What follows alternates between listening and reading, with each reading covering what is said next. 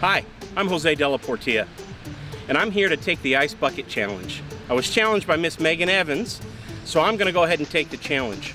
Before we do, I want everyone in the world to know that this is truly an ice bucket, reading 26 degrees Fahrenheit right now. I'm gonna take the, the challenge, I'm gonna take the plunge here for Diagnosed TV show.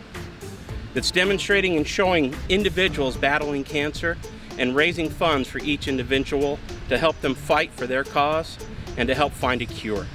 And right now, before I take this challenge, I want Carolyn De La Portilla to know the challenge has been issued and Mike Fisher, the issue has been challenged.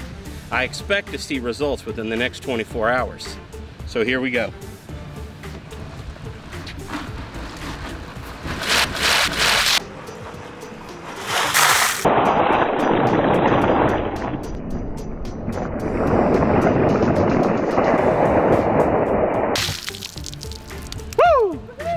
Bring it, guys. That's all I gotta say.